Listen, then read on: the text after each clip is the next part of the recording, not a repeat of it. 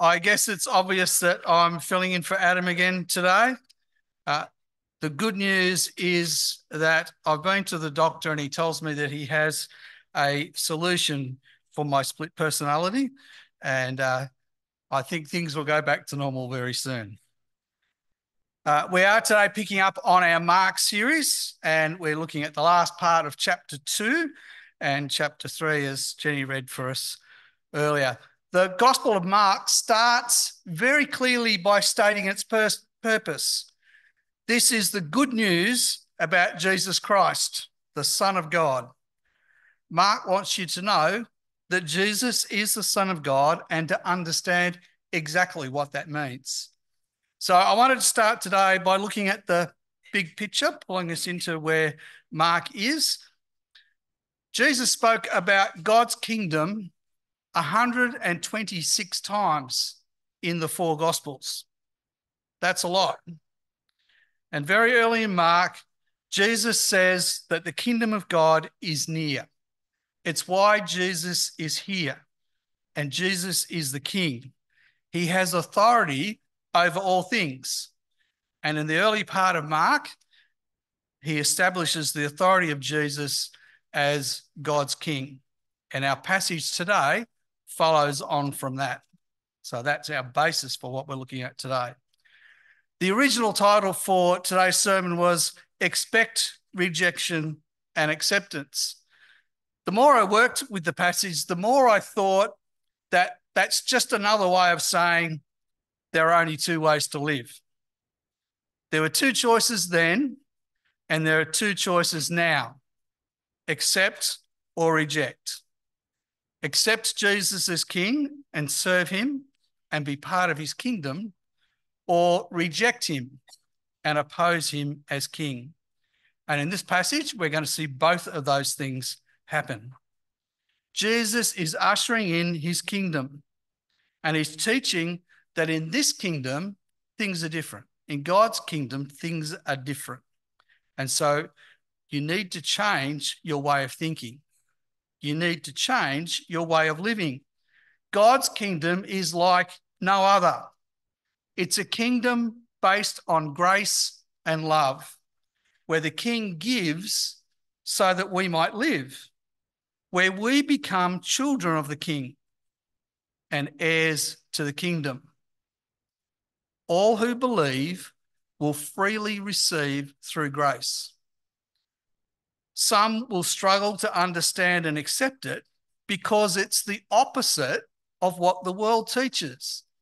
The world tells us that we have to work to achieve. Jesus says, Believe, and you will have everlasting life. How can we, as mere mortals, get our head around something so amazing. And on our own, we can't. We need God to help us to get our heads around that, to get our heads around just how amazing that is. I'm going to pray for us now that, uh, that indeed we can do that. Heavenly Father, thank you for bringing us together as your people. Thank you that you have established your kingdom in our hearts as we explore your word today, help us to understand. Help us to comprehend simple concepts that are so amazing that they are difficult to comprehend without you opening our hearts and minds. So, Father, we pray that you will do that, that you will open our hearts and minds. We know that you are an amazing God and that through you, all things are possible. And we know that because of your love and grace, that you sent your son Jesus to die for us and that he rose again so that we can have eternal life with you. Help us to understand what it means to live for you and to put our trust in you so that we can truly be your children. And we pray this in Jesus' name. Amen. All through the Bible, uh, we see a distinction between the things of the flesh, that is, if you prefer the things of the earth, the worldly things, and the things of the spirit, or if you prefer the things of God, flesh versus spirit, human versus God. There's our two choices. we must choose which kingdom we will serve. Two ways to live. You can choose to accept God's kingdom or you can choose to oppose it. And to be very clear, not choosing is the same as choosing to reject it. There are only two choices. There's no fence sitting. So everybody is one or the other. You, you either accept God's kingdom or you reject it. And in today's passage, we're going to see a little bit of both, hence the title.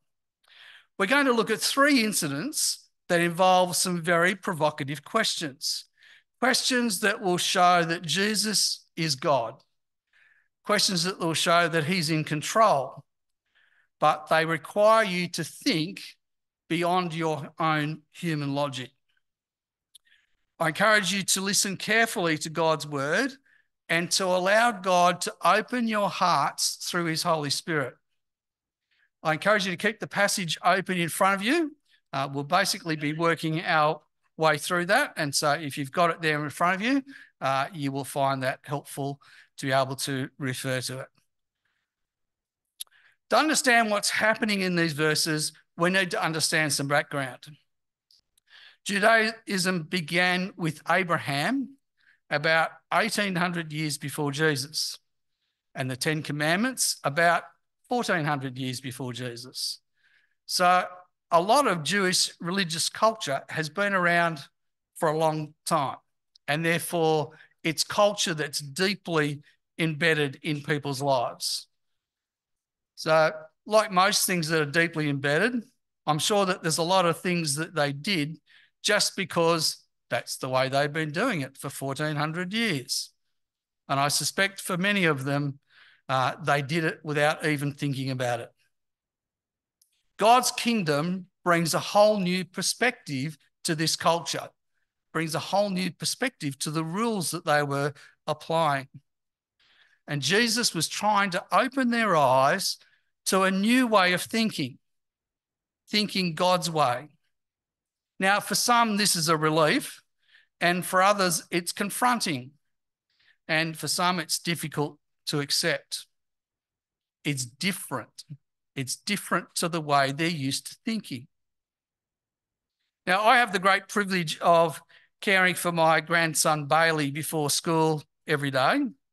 So, for nearly two hours every morning, five days a week, I entertain, feed, dress him, make sure he brushes his teeth and all the rest of it to make sure he gets to school on time and ready for a big day of learning.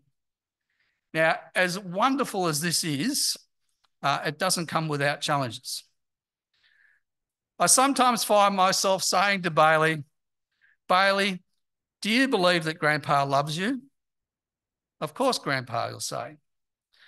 So if Grandpa asks you to do something do you believe that it's for your own good, even if it's something that you don't want to do? And usually I get a very reluctant yes. And sometimes I even get a change of attitude.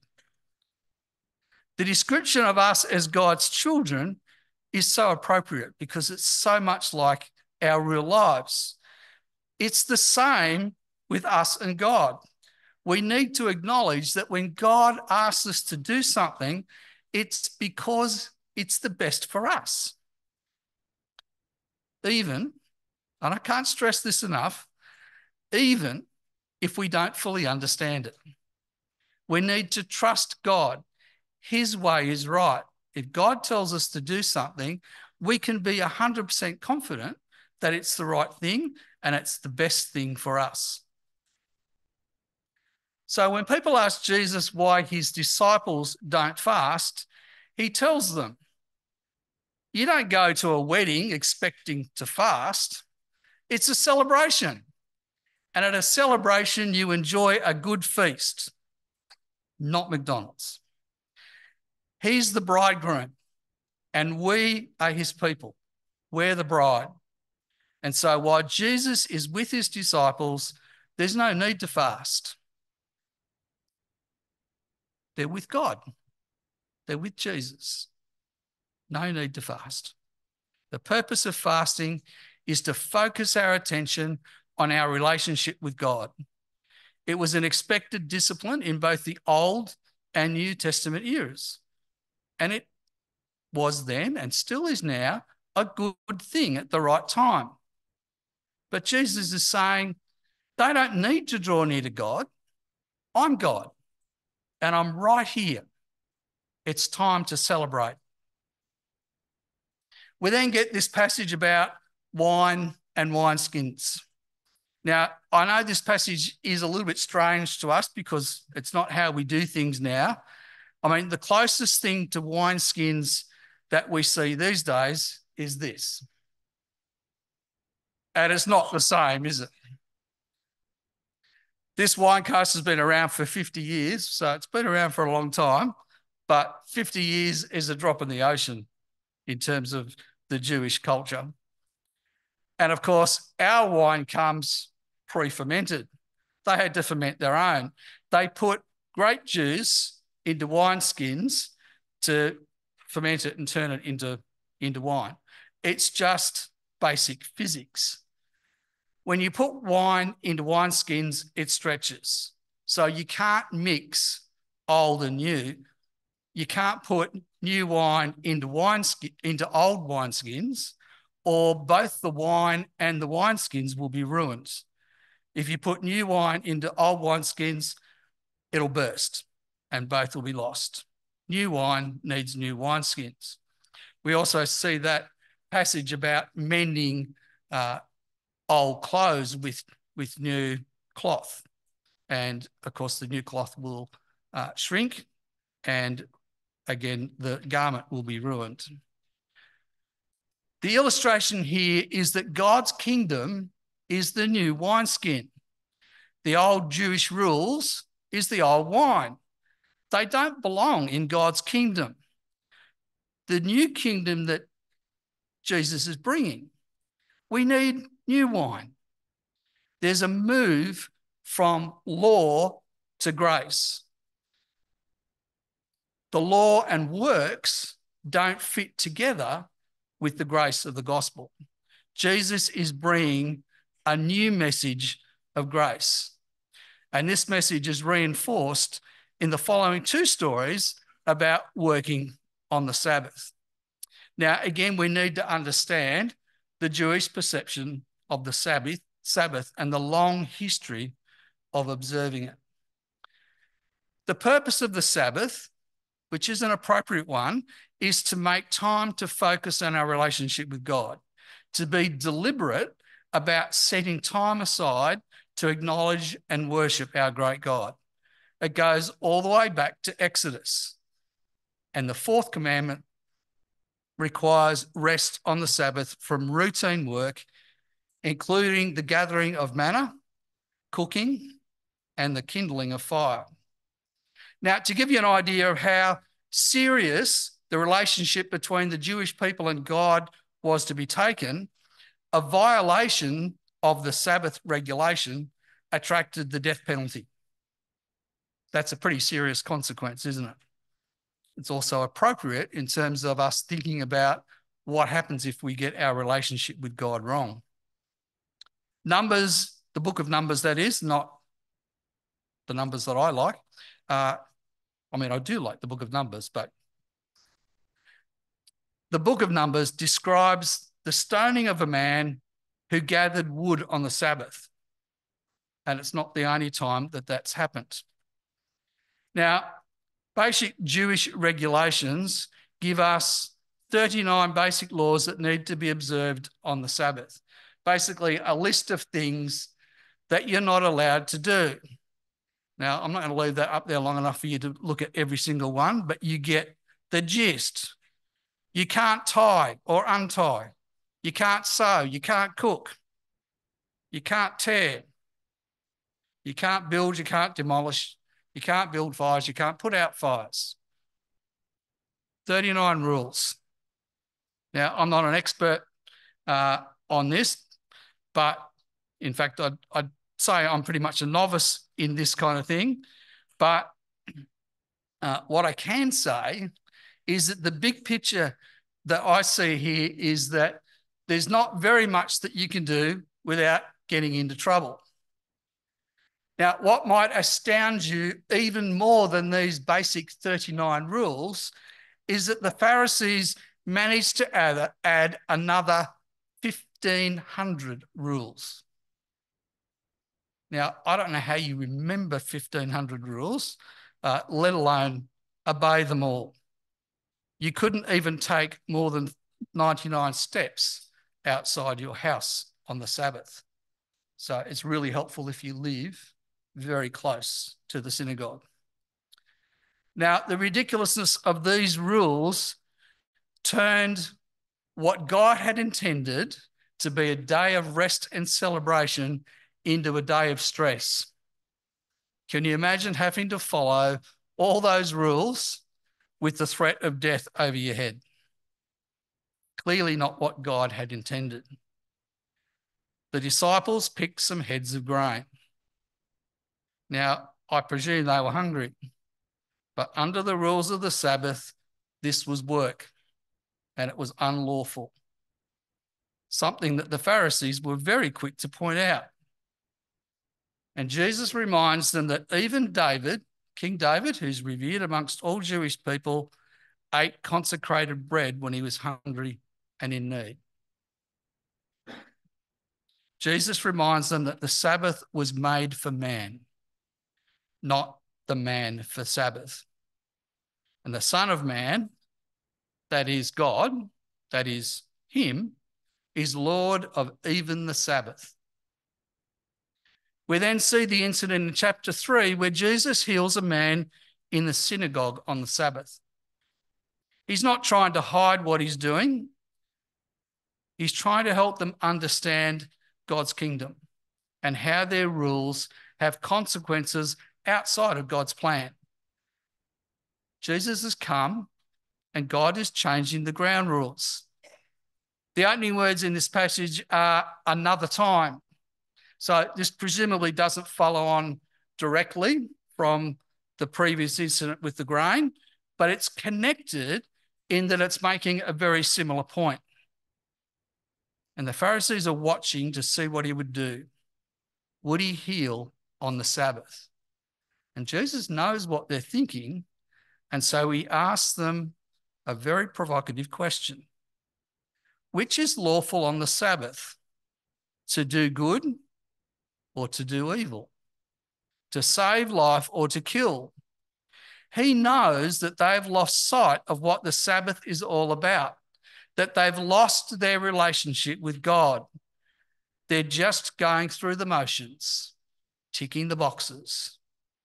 And so he looks at them in anger and deeply distressed at their stubborn hearts. Jesus wants them to see the love that God has for them, but they're too stubborn to see it and accept it. Now, this topic of stubborn hearts has come up a couple of times in the last few weeks, and I wondered maybe whether God's trying to tell me something. Um, I'm assuming that it would be me because I know that none of you guys would be stubborn, so it's it's got to be me. I'm sure that you've all experienced the frustration of dealing with somebody who stubbornly won't see sense. It's plain as day. Anybody can see it, but they're too stubborn to see it. It's frustrating, isn't it? Jesus feels the same frustration at stubborn hearts. He wants people to know and receive God's love, but they won't, they won't accept it. Imagine God's frustration at people's stubbornness to not believe and accept his free gift, his free gift of salvation. They see the miracles, miracles that only God could, could perform, and yet their stubborn hearts won't accept who Jesus is. Jesus performs a miracle and the man's hand is healed. Do the Pharisees celebrate? Do they see the good? Do they see that Jesus has made this man whole? No.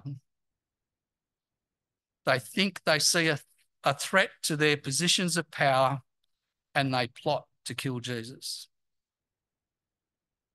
I plead with you, please do not let your hearts be stubborn.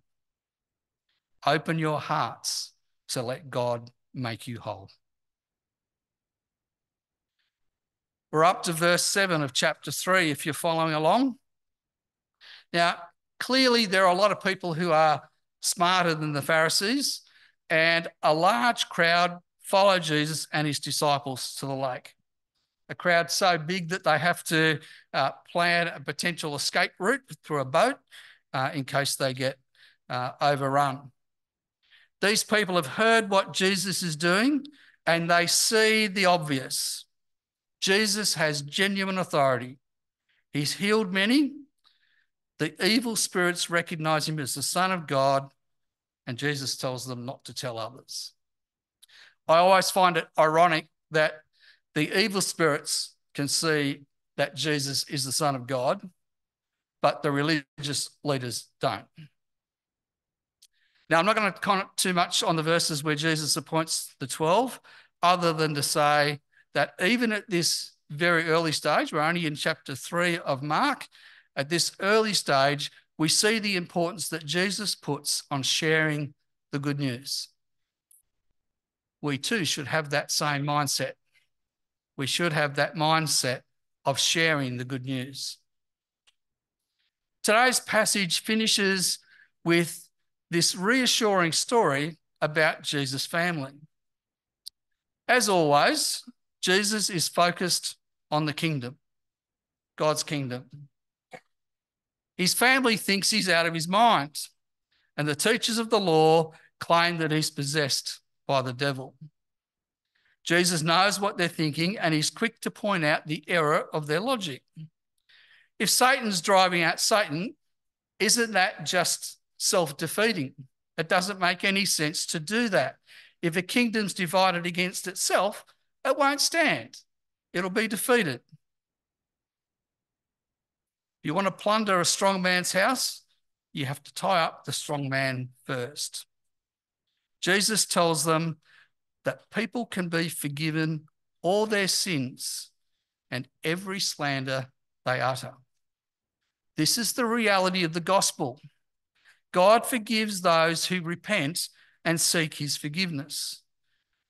But whoever blasphemes against the Holy Spirit will not be forgiven. They are guilty of an eternal sin. Now, verse 30 says that he said this because they were saying that he has an impure spirit. They're basically saying that Jesus is possessed by Satan. But that verse 30 is a great reminder that we need to take this passage in context. I know this passage has raised a lot of questions for a lot of people, and I don't know that I can answer all of your questions, but let me give you my take on this. Firstly, as I've already said, I believe it's absolutely vital that we read this passage in context and not just on its own. Jesus is dealing with the Pharisees who have stubborn hearts. They're claiming that Jesus is possessed by Satan, which we know is not true. We know he's the Son of God. And I believe that Jesus is saying to them, they can be forgiven. All they have to do is turn to him. They can be forgiven for anything that they say or do if they repent. But if you remain stubborn and deny God, including the Holy Spirit, then you will bear the eternal consequences for that. He's telling them, don't be stubborn. God can forgive you. But if you don't turn, the consequences for you denying God are eternal. So don't remain stubborn. This section of scripture closes with this wonderful comment about God's family. It can't be made any clearer than this. If you put your trust in Jesus and do God's will, then you are God's family. We are brothers and sisters with Jesus, and we can call God our Father. We've been adopted into his family and his kingdom. What a wonderful gift. God's kingdom is here. It's yet to be fulfilled, but it's here right now. There are only two ways to live, and you need to choose. Will you be stubborn, or will you put your trust in Jesus, the Son of God who died and rose so that we can live forever as God's forgiven children, as heirs of his kingdom?